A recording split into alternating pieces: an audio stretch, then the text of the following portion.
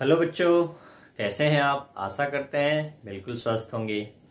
पिछले वीडियो में आप सॉल्यूशन के कंसंट्रेशन के कितने मेथड हैं, दो तीन मेथड के बारे में आप पढ़े हैं, जिसमें था mass percentage value percentage mass by mass percentage आज हम बात करने वाले हैं नेक्स्ट टॉपिक जो कि इस चैप्टर का बहुत ही इंपॉर्टेंट टॉपिक है, जिसका नाम है कोलाइड्स आर कोलाइडल सोल्यूशन ये आपके डे टू डे लाइफ में और दवा में बहुत ज़्यादा यूज़ होने वाला कोलाइड्स यानी मटेरियल होता है।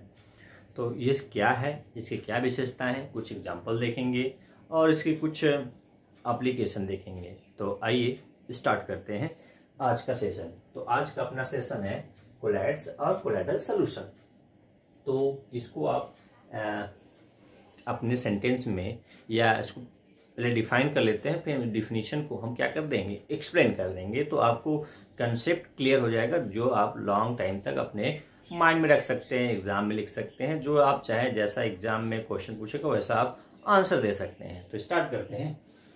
क्लाइड क्या है? इट एक हेट्रोजियस मिक्सचर है। आप पहला वर्ड क्या है? It is a heterogeneous mixture in which the particle size is range between ten angstrom to ten thousand angstrom यानी दो बात पहले याद रखिए। क्या क्या? It is a heterogeneous heterogeneous mixture a heterogeneous mixture in which जिसमें in which the particle size या the particle of the size of particle कह सकते हैं। The size of particles range range between between 10 angstrom to 10000 angstrom. ठीक है? इकाई दाएँ second हज़ार दस हज़ार। इतना के बीच पार्टिकल की साइज़ आएगा तो क्या कहलाएगा काल कोलाइड्स कोलाइड्स चाहिए या कोलाइडल सोल्यूशन हाँ कोलाइडल सोल्यूशन ठीक है? तो दो वर्ड आपको डिफिनेशन बताना है। पहला कि ये हेट्रोजीनियस मिक्सचर है और दूसरा, जो उसमें घुला रहेगा, उसकी पार्टिकल की साइज़ दस अंगस्ट्राम से दस हज़ार अंगस्ट्राम के बीच होनी चाहिए। तो वो कोलाइडल होगा। दस अंगस्ट्राम से छोटा होगा तो सोल्यूशन दस हज़ार से बड़ा होगा तो वो सस्पेंशन में आएगा। ठीक है? अब इसके एग्ज़ाम्पल की बात कर लेते हैं कि कोलाइड्स में आपने डिफिनेशन तो हम बता दिए, लेकिन इसका एग्ज़ाम्पल क्या है? जैसे आप एग्ज़ाम्पल के तौर पर स्टार्च जो प्लांट का स्टोरेज मटेरियल है स्टार्च को हॉट वाटर में, इसमें हॉट वाटर में, ये वाटर कैसा है? हॉट गर्म है क्योंकि ठंडे वाटर में नहीं घुलेगा। हॉट वाटर में घोलेंगे तो स्टार्च का क्या होगा? स्टार्च का सॉल बनेगा। क्या बनेगा? स्टार्च सॉल ठीक है? तो ये आपका क्या है? कोलाइडल है। इसी तरह से मिल्क भी कोलाइडल है नेल पॉलिश कोलाइडल है पेंट कोलाइडल है डस्टेड एयर कोलाइडल है, बादल कोलाइडल है, रबर कोलाइडल है, इस तरह से बहुत सारे एग्ज़ाम्पल हैं जिसको हम अभी टाइप्स में पढ़ेंगे, यानी डिस्पर्स फ़ेज़ के मीडियम और डिस्पर्सन मीडियम के आधार डिस्पर्स फ़ेज़ के आधार पर उसको हम एट टाइप पढ़ेंगे। पहले भी सब मेन कंसेप्ट अभी समझ रहे हैं। तो ये कोलाइडल हो गया। अब जैसे आप सोल्यूशन में दो वर्ड पढ़े थे सल्यूट और साल्वेंट उसी तरह से कोलाइडल में भी दो पार्ट होते हैं। कौन कौन सा? तो कोलाइडल के पार्ट के लिए क्या होता है? आपका क्या होता है यहाँ पर? सलूट हम्म, की जगह पर जो चीज़ घुलता है उसे डिस्पर्स फ़ेज़ कहते हैं। क्या बोलते हैं? डिस्पर्स्ड डिस्पर्स्ड फ़ेज़ ठीक है? डिस्पर्स्ड फ़ेज़ और जिसमें घुला होता है डिस्पर्सन मीडियम डिस्पर्सन मीडियम जिसमें घुला होता है। क्या घुला होता है? जो भी घुलेंगे आप। और इनके मिलने से क्या बनता है? कोलाइडल। कोलाइडल सिस्टम या कोलाइड्स। ठीक है? कोलाइड। ठीक है? कोलाइड्स या कोलाइडल सोल्यूशन। हालाँकि सोल्यूशन वर्ड तो होमोजीनियस के लिए करते हैं, लेकिन ये कोलाइडल वर्ड लग गया तो कोलाइडल सोल्यूशन बोल सकते हैं। ठीक है? तो dispersion medium disperse phase dispersion medium दोनों के मिलने से कोलाइडल सोल्यूशन या कोलाइड बनता है। एग्ज़ाम्पल के तौर में बताएँ स्टार्च आपका डिस्पर्स फ़ेज़ पानी आपका डिस्पर्सन मीडियम बना है स्टार्च सॉल्व जिसे कोलाइडल सोल्यूशन बोलेंगे। क्लियर है? तो अब बात कर लेते हैं कि इसकी क्या विशेषता है, यानी कोलाइड सोल्यूशन है तो इसकी कुछ कैरेक्टरिस्टिक होगा, जिसके कारण से हम उसको समझ सकेंगे, उसकी नेचर को, उसके करेक्टरिस्टिक प्रॉपर्टीज़ को तो हमें आइडेंटिफाई करना आसान हो जाएगा कि कौन सा मिक्सचर सोल्यूशन है, कौन सा सस्पेंशन है, और कौन सा कोलाइडल है। हालाँकि कोलाइडल का कोलाइडल क्या एक मिक्सचर है। तो मिक्सचर कितने टाइप के होते हैं? तीन, मैं आपको पहले ही बता चुका हूँ। होमोजीनियस जिसको आप सोल्यूशन कहते हैं। हेट्रोजीनियस जिसमें दो पार्ट होते हैं कोलाइडल और सस्पेंशन तो हम कोलाइडल की बात कर रहे हैं। चलिए, इसकी विशेषता की बात कर लेते हैं। फिर उसके टाइप की बात कर लेंगे। ठीक है? अभी जो मैं पार्टिकल की साइज़ बताया था, दस हज़ार से दस हज़ार अंगस्ट्राम, वो जो पार्टिकल डायमीटर होगा, उसकी बात कर रहा था कि दस से दस हज़ार अंगस्ट्राम के बीच का सैकड़ा हज़ार, दस हज़ार। ठीक है, ये पार्टिकल जो घुला रहेगा मिक्सचर में, उसकी साइज़ इतना से इतना के बीच रहेगा तब। ठीक है, तब वही कोलाइडल होगा। इससे छोटा होगा तो सोल्यूशन होगा, इससे बड़ा होगा तो सस्पेंशन होगा। ठीक है क्लियर है? चलिए, बात कर लेते हैं प्रॉपर्टीज़ की। प्रॉपर्टीज़ में पहला प्रॉपर्टीज़ क्या है? इसका पहला प्रॉपर्टीज़ है कि इट इज़ ए मिक्सचर क्या है? It is it is a hetero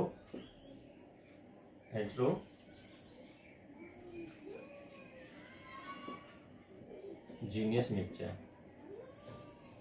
ठीक है? पहला विशेषता है कि हेट्रोजीनियस मिक्सचर होता है। दूसरा कि ये इसके particle size the size of particle the size of particles range between जो आप डिफिनेशन में देखे थे। कितना से कितना? दस अंगस्ट्राम से लेकर दस हज़ार अंगस्ट्राम के बीच में होता है। ठीक है? तीसरा इट इज़ स्टेबल यानी कोलाइड्स क्या होते हैं? स्टेबल होते हैं। इसका क्या मतलब है? स्टेबल इट इज़ स्टेबल क्या मतलब है? स्टेबिलिटी का क्या मतलब है? तो स्टेबल का मतलब है जब आप जैसे सोल्यूशन बना के रखते थे चीनी घोल के पानी में तो क्या चीनी के पार्टिकल नीचे सेटल डाउन हो रहे थे? नहीं। तो सेटल डाउन नहीं होंगे तो वो इस क्या है? सोल्यूशन में बना हुआ है, चीनी पानी घुला हुआ है, यानी एक दूसरे से मिला हुआ है, यानी साथ न छूटे।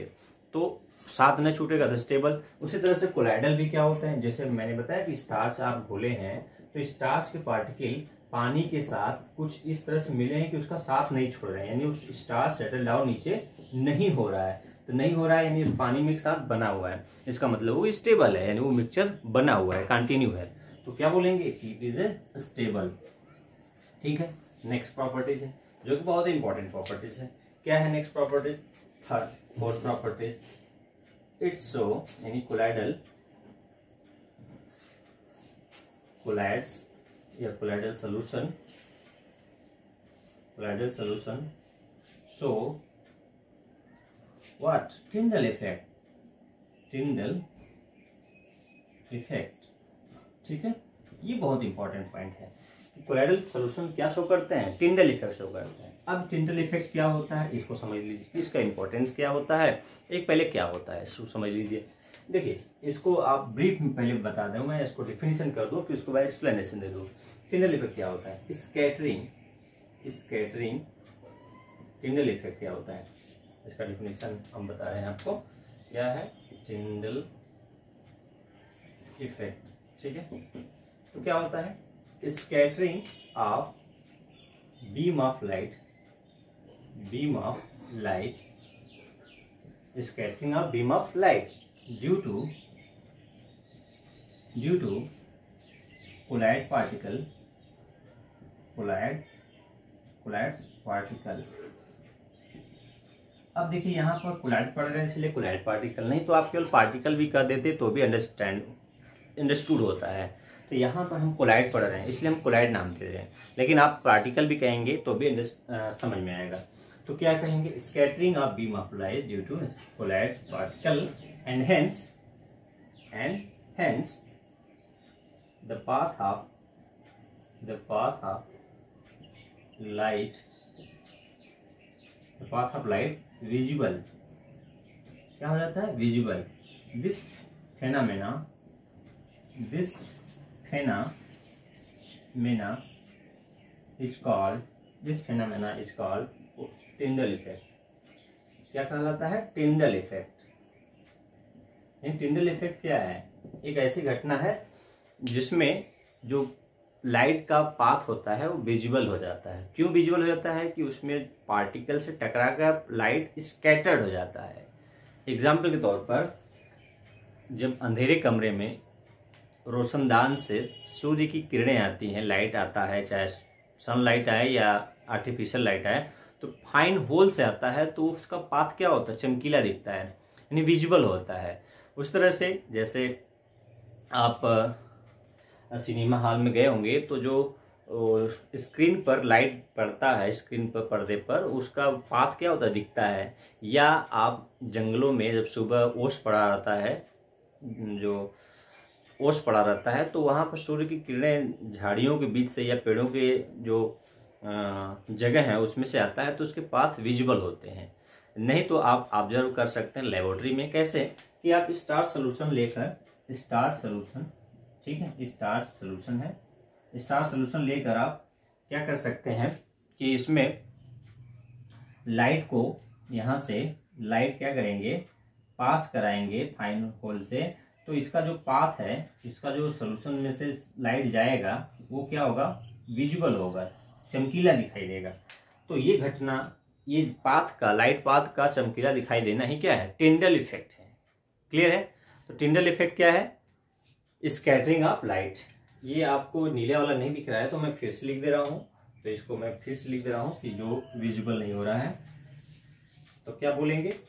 Scattering scattering of beam of light beam of light due to due to colloid particle colloid particle ठीक है? इसी को इतना बोल देंगे तो भी अब टिंडल इफ़ेक्ट आप समझ सकते हैं। ठीक है?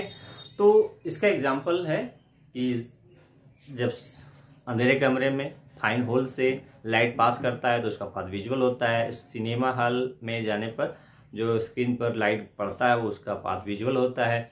या अंधेरे में टार्च चलाएँगे तो उसका पाथ क्या होता है? विजुअल होता है। या जंगलों में कैनोपी जो बोलते हैं, उसका ऑब्ज़र्व होना क्या है? टिंडल इफ़ेक्ट है। तो टिंडल इफ़ेक्ट का मतलब आप समझ गए। चलिए नेक्स्ट पॉइंट है आपका। Colloidal particle shows Brownian moments यानी इसके अलावा पांचवा इसकी विशेषता क्या है? इट शोज़ क्या? Colloidal solution Brownian moment Brownian moment ये क्या मतलब है? इसका मतलब है कि जो कोलाइड पार्टिकल होते हैं, यदि कोलाइड पार्टिकल हैं तो वो क्या करते हैं? डिस्पर्सन मीडियम में जिग जैक मोशन में क्या करते हैं मूव करते हैं, यानी पार्टिकल के जो जिग जैक मूवमेंट है, जिग जो moment of zig zag moment of colloid particle are particle known as Brownian moment Brownian Brown Robert Brown ने सबसे पहले इसको ऑब्ज़र्व किया था, इसलिए ब्राउनियन मोमेंट कहते हैं, ठीक है? तो क्या बोलेंगे? इसका क्या मतलब है? ब्राउनियन मोमेंट का क्या मतलब है? Zig zag, zig zag moment of particle अब यहाँ पर कोलाइड पार्टिकल है तो पार्टिकल्स कह सकते हैं। क्या बोलते हैं? आपको क्या बोलेंगे उसको? ब्राउन एंड मोबाइल ठीक है? तो ये शो करता है। चलिए नेक्स्ट प्रॉपर्टीज़ है। Colloids contain colloid colloids particle contain contains only one types of only one types of only one type of contains only one type of electrical charge कौन सा charge electrical charge electrical charge ठीक है either either positive और negative या तो positive रखेंगे या तो नेगेटिव यानी कोलाइडल पार्टिकल एक ही तरह के चार्ज रखते हैं। या तो पॉजिटिव होंगे या तो नेगेटिव होंगे। दोनों एक साथ नहीं होंगे। दोनों एक साथ नहीं हो सकते। यदि होंगे तो क्या हो जाएगा? जुड़ के प्रेसिपिटेट बन जाएगा कागुलेट हो जाएगा। तो आपको इतने प्रॉपर्टीज़ याद रखने हैं कम से कम कि ये क्या होता है? हेट्रोजीनियस होते हैं। दूसरा, ये, इनकी पार्टिकल की साइज़ 10 से दस हज़ार अंगस्ट्राम की होती है। स्टेबल होते हैं। ये टिंडल इफ़ेक्ट शो करते हैं। टिंडल इफ़ेक्ट क्या होता है? मैं आपको समझा दिया। Scattering of light due to colloid particle call Tyndall effect Brownian movement show करते हैं। क्यों? क्या होता है? Brownian movement zigzag movement of particles known as Brownian movement colloids particle contents only one type of electrical charge either positive और negative इसके आधार पर दो प्रकार के होते हैं पॉजिटिव कोलाइट और नेगेटिव कोलाइट तो हम अभी इसकी चार्ज की बात बाद में करेंगे। कितने टाइप के अभी यहाँ हम बात कर रहे हैं इसकी विशेषता की। इसी विशेषता में ये आपकी क्या होगी विशेषता है? अब इसके टाइप्स के बारे में बात, बात करेंगे कि डिस्पर्स फ़ेज़ के फ़िज़िकल फ़ेज़ और डिस्पर्सन मीडियम के फ़िज़िकल स्टेट के आधार पर ये टोटल आठ टाइप के हो सकते हैं। यानी उनके कॉम्बिनेशन डिस्पर्स फ़ेज़ और डिस्पर्सन मीडियम कॉम्बिनेशन के आधार पर ये कुल आठ टाइप के होते हैं। ठीक है? तीन सॉलिड दो तीन लिक्विड और दो सॉलिड गैस लिक्विड गैस यानी गैस गैस कॉम्बिनेशन छोड़ के सब कॉम्बिनेशन होंगे, ठीक है? तो आज के लिए इतना ही। वीडियो कैसा लगा, आप अपना विचार, अपना व्यू कमेंट बॉक्स में लिख सकते हैं, बेझिझक। तो वीडियो के देखने के लिए आपका तहे दिल से शुक्रिया। जय हिंद, जय भारत।